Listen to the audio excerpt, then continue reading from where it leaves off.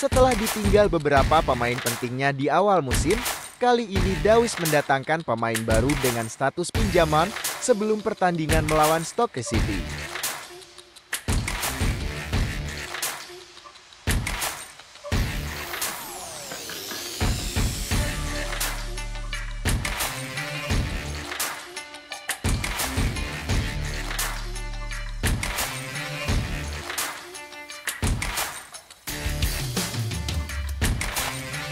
Mari kita saksikan pertandingan Southampton menjamu Stoke City.